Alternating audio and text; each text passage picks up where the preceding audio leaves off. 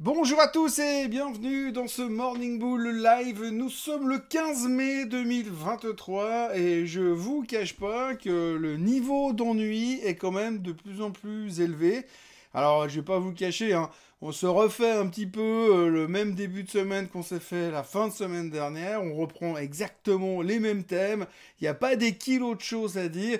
Il va falloir attendre petit à petit pour voir s'il y a des informations. Mais on commence à se concentrer vraiment principalement euh, sur la thématique du plafond de la dette. Sauf que ça va prendre du temps.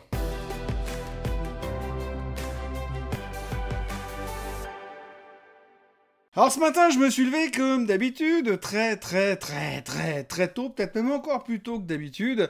Et puis j'ai lu, j'ai lu, j'ai lu. Et en me rendant compte de ce que je lisais, eh bien je me demandais si j'aurais pas mieux fait de rester couché parce que ça laisse pas forcément présager de journées passionnantes. Alors vous l'avez peut-être remarqué, depuis quelques jours, les marchés ne font strictement plus rien. Alors oui, ça bouge, 0,3, 0,4%. Il y a un ou deux titres par-ci par-là qui bougent, par exemple Tesla qui a bougé la semaine dernière parce qu'on a Madame Linda Yacarino, la nouvelle CEO qui arrive, qui est déjà contestée, parce que c'est quand même pas quelqu'un de facile quand vous regardez un petit peu le personnage. Son CV, c'est un petit peu spécifique comme personne. Résultat, eh bien, le titre a ouvert positivement vendredi avant de se faire déglinguer derrière, donc on n'est pas forcément euh, bien convoqué. Je parle de Tesla en l'occurrence. Hein. Et puis, ben, ce matin, on lit dans le Barons que peut-être il sera intelligent, qu'Elon Musk, eh bien, il puisse euh, mettre, faire l'IPO de SpaceX maintenant, histoire de récupérer quelques milliards, et puis d'arrêter de vendre systématiquement ces titres Tesla pour utiliser l'argent pour euh, relancer Twitter qui pour l'instant ne se relance pas forcément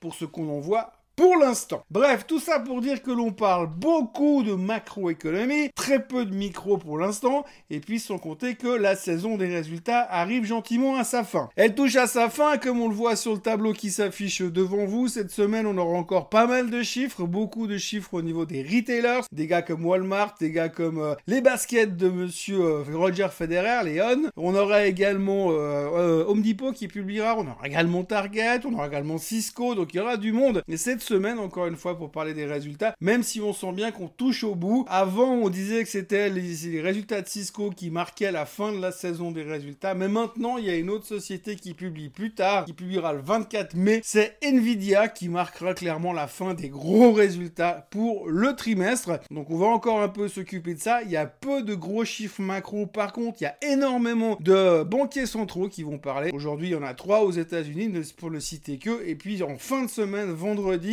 pour ceux qui ne font pas le pont de l'ascension, eh bien, il y aura Monsieur Powell qui parlera. Et donc ça, on se dit que peut-être il va euh, nous sortir euh, la réponse à toutes nos questions pour les 24 prochains mois. Mais ne nous emballons pas cependant. Ce qui est assez intéressant, c'est que si vous regardez un peu à droite à gauche, il y a quand même 2-3 personnes qui ont réussi déjà à faire des projections sur les taux d'intérêt. Alors c'est hyper intéressant parce que grosso modo, on sait même pas trop ce qui va se passer le 13-14 juin lors du prochain FOMC meeting. Par contre, il y a déjà des mecs qui bossent sur leur PC depuis deux semaines pour dire oui, alors d'après les chiffres du CPI, normalement, il y aura une baisse des taux en septembre, en octobre, en novembre, et puis normalement, les taux directeurs seront à 3% en décembre 2024. Donc on sait même pas de quoi demain sera fait, mais il y a déjà des gars qui sont en train de se projeter en décembre 2024 pour savoir où seront les taux euh, directeurs américains. Alors contre deux, on a juste le plafond de la dette qui est pas réglé et de plus en plus de gens qui se disent que peut-être cette fois finalement les États-Unis pourraient faire défaut. Qui sait Et qu'est-ce qui se passerait si euh, les États-Unis font défaut Et où est-ce que nous irions?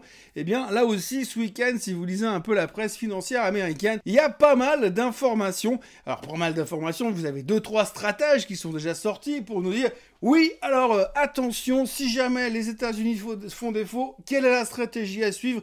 Elle est assez simple, faites du long terme. Oui, donc faites du long terme, hein, c'est la solution absolue. Hein. Vous achetez un peu d'actions maintenant, vous achetez un peu d'actions plus tard, vous achetez un peu d'actions quand on fait défaut de la dette, vous moyennez quand on est au fond du bac parce que le marché devrait inévitablement baisser quand même un tout petit peu. Et puis sur les 5, 10 ans ou 20 ans ou au pire 30 ans, eh bien vous reverrez votre capital. Oui, c'est la stratégie la plus sûre et puis c'est vraiment un truc, éloignez-vous de vos écrans parce qu'on va entendre tout et n'importe quoi ces prochains temps au niveau du plafond de la dette et chaque phrase, chaque mot, chaque interprétation, chaque tergiversation pourrait nous amener à des mouvements sur les marchés. En gros, on n'en sait strictement rien, mais euh, le, le, truc le plus safe, c'est d'acheter des trucs qui payent des dividendes pour les 25 prochaines années. Au pire, vous vivrez de vos dividendes. Donc oui, en gros, on ne sait vraiment pas ce qui va se passer. On sait que les républicains et les démocrates vont se réunir à nouveau demain pour trouver des solutions. Vu là où ils ont laissé euh, le travail sur le métier la semaine dernière, c'est-à-dire nulle part, c'est pas évident qu'il y ait des grosses avancées demain, mais néanmoins, on attend de voir ce qui pourrait se passer. Personne n'est vraiment euh, convaincu de la solution si on ne fait pas des coupes budgétaires et en même temps on continue à avoir besoin de dépenser de l'argent pour garder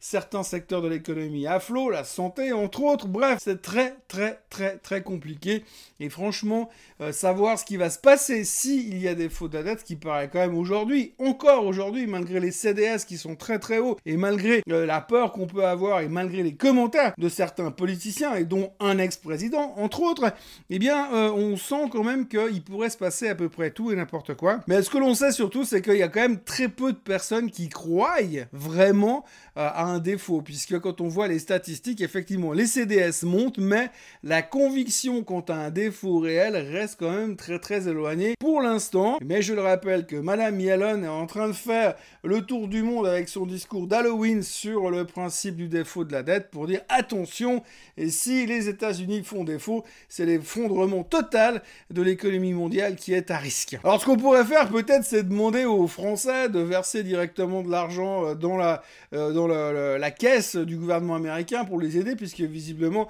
euh, les Français ont cette capacité à également trouver de l'argent qui n'existe pas, puisqu'ils peuvent régulièrement financer. Aujourd'hui, eh bien, on est toujours vraiment bloqué dans nos mêmes histoires.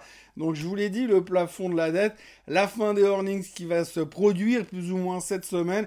Et puis alors, on aurait également, euh, comme d'habitude, les interrogations sur l'inflation. Est-ce qu'elle est encore un peu trop sticky et puis qu'elle descend pas assez vite? Les interrogations sur une éventuelle récession qui pourrait se produire. Mais là n'est pas le sujet pour l'instant parce que d'abord on doit régler le plafond de la dette. Et puis il y a bien évidemment la crise des banques qui est toujours présente. Hein. Si on suit et si on écoute un peu les jérémiades de monsieur Dimon personnes euh, dans les médias ces derniers 3-4 jours, eh bien, on sent vraiment que ça devient une obsession. Hein. Il faut vraiment sauver le soldat banque, parce que si on ne sauve pas le soldat banque, eh bien, c'est l'effondrement total d'un système. Euh, donc on se pose toujours beaucoup de questions, mais on a très peu de réponses et on voit toujours, par exemple, euh, il y a eu euh, ce week-end Morningstar qui a publié un article assez fouillé pour dire qu'il y avait en tout cas 10 banques régionales qui étaient hyper solides avec des valorisations extrêmement basses qu'il fallait absolument acheter. Et puis si tout se passait comme prévu et s'il n'y avait pas trop de problèmes, eh bien ça devrait bien se passer, avec du conditionnel partout. Donc en gros ils en savent rien. Mais ce qu'ils savent, c'est que si ces banques-là ne subissent pas les outflows des clients qui viennent retirer leur argent, si la crise ne s'accentue pas dans le secteur bancaire, et puis si les planètes sont alignées avec le soleil, eh bien normalement, euh, les banques régionales pourraient remonter, ce serait une super opportunité. En gros, ils en savent que dalle, personne n'en sait que dalle. Ce que l'on sait aujourd'hui, c'est que la Pacific West continue à avoir des clients qui se barrent, et qui pour l'instant, ils ont toujours trouvé personne qui veut les racheter. Et la problématique, c'est que même s'ils venaient à trouver une Bank of America qui venait les racheter, ou mieux, une UBS qui vienne les racheter, eh bien ça ne réglerait pas forcément le problème, puisque derrière, il y en aura probablement une autre qui vivra la même chose. Et au bout d'un moment, on ne peut pas non plus racheter toutes les banques en difficulté, même si les banques systémiques deviennent de plus en plus grosses. Donc, il y a un moment donné, le gouvernement va devoir intervenir, va devoir trouver une solution, peut-être injecter de l'argent, sauf que pour l'instant, le gouvernement, il n'a pas d'argent. Bref, donc tout ça nous fait que on est quand même dans une situation un peu complexe. Pour l'instant, on essaye de boucher les trous contre le barrage, les fissures, pour éviter que ça devienne de pire en pire, mais ça devient pas forcément rassurant et ni euh, sécurisant pour les investisseurs, même si les banques continuent de faire des discours extrêmement positifs. On a vu plusieurs CEO venir régulièrement dans les médias pour dire que tout allait bien. Bon, c'est les mêmes CEO qui n'ont pas vu ce qui s'est passé avant. Mais maintenant, cette fois, ils savent. Avant, ils savaient pas, mais maintenant, ils savent. Donc voilà, on commence une semaine, mais alors tout en douceur, parce que vous regardez les futurs, ils sont plus 0,0%, il ne se passe rien. On notera aussi que la Chine a eu une mauvaise nouvelle ce matin puisque la Banque centrale a décidé de ne rien faire au niveau des taux alors qu'on espérait quand même un minimum de discours de soutien à l'économie puisqu'on parle beaucoup de ce ralentissement économique post-rebond, post-Covid, puisqu'on a eu une explosion de positivisme avec le retour des Chinois, puis là on se rend compte que le rebond il est déjà en train de caler, donc on espérait un peu de soutien des autorités fédérales chinoises,